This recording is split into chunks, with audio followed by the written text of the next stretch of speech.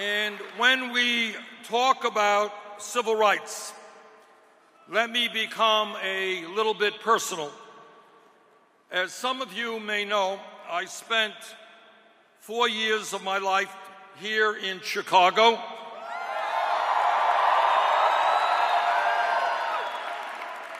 In the early 60s, as a 20 year old transfer student to the University of Chicago.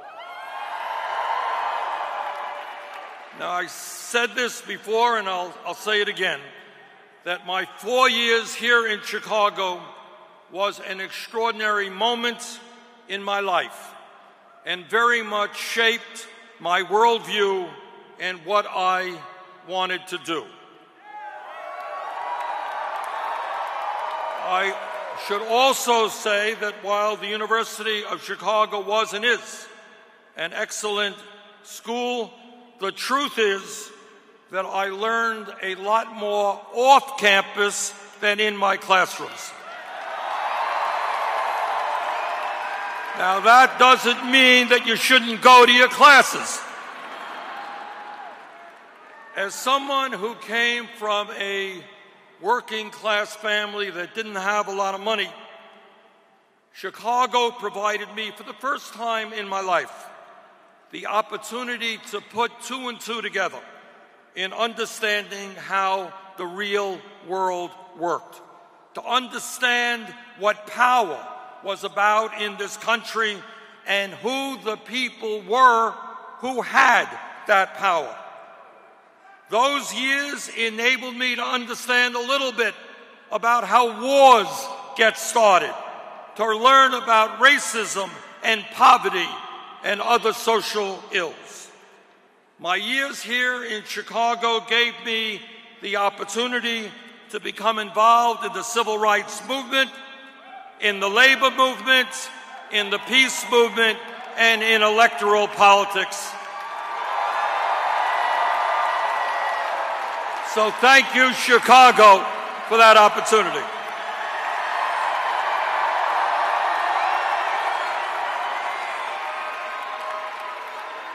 As a student at the University of Chicago in the early 60s, I became involved with a civil rights organization called the Congress on Racial Equality CORE, which was one, which was one of the leading civil rights groups of that period.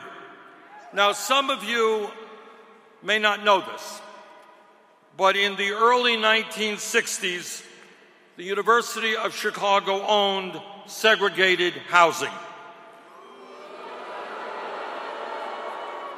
Being audacious young people, black and white, our chapter of CORE wanted to expose the racist housing system run by the university. And so our CORE chapter did something pretty interesting. We sent white couples and black couples into the university owned housing to pretend that they were looking for an apartment. And you can guess what happened. When the black couples showed up, just there were just no apartments available. Sorry about that. There's nothing available for you.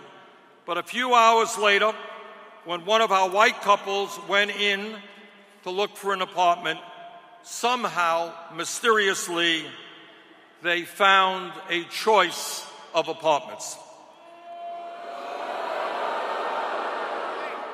After documenting that clear pattern of racial discrimination, the students in CORE demanded that the university desegregate its housing.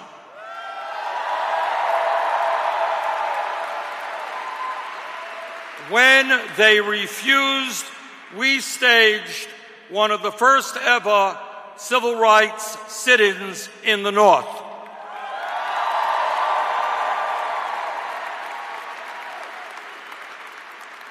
What we were doing here in Chicago at that time was significant, but it came nowhere close to what young people our age were doing in the South in groups like SNCC the Student Nonviolent Coordinating Committee. We were protesting. They were putting their lives on the line, and some of them, in fact, were murdered. In 1963, I, along with a busload of other students from Chicago, took a 600 mile ride to Washington, D.C. for what remains in my mind an unforgettable day. We went to the nation's capital to participate in the March on Washington for Jobs and Freedom.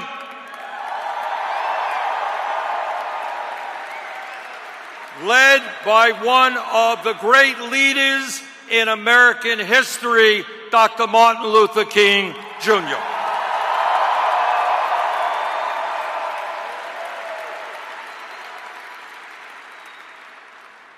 I had the honor of being there to hear him deliver his now famous I Have a Dream speech, and that was a day I have never forgotten.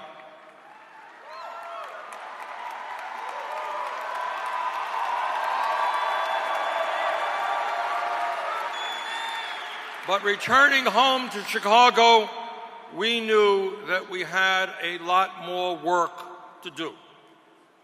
At that time, it was nine years, it had been nine years since the Brown versus Board of Education decision, Supreme Court decision, that desegregated schools in America.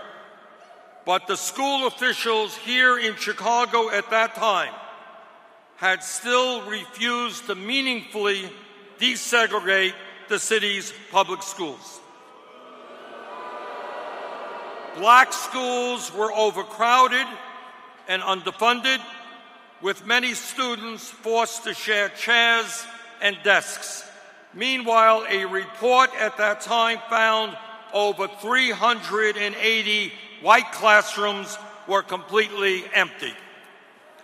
But instead of putting black children in those empty classrooms, the school officials decided to put old trailers.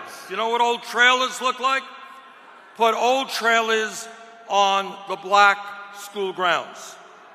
And those trailers were called Willis wagons after the Chicago school superintendent of that time, Mr. Benjamin Willis. Those trailers were a monstrosity. Students would boil in the heat and freeze in the cold. They were infested with rats. They were an insult and a disgrace. And the community fought back.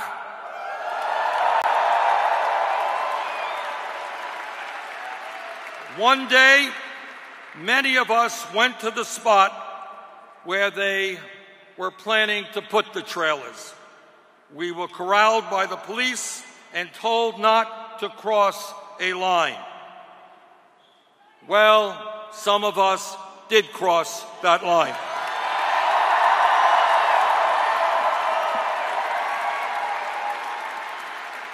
And of course, we were arrested. And we spent that night in jail until we were bailed out in the morning by the NAACP. Now, the reason, the reason I tell you all of this is because my activities here in Chicago taught me a very important lesson that I have never forgotten. And that is that whether it is the struggle against corporate greed, against racism, sexism, homophobia, environmental devastation, or war and militarism. Real change never takes place from the top on down. It always takes place from the bottom on up.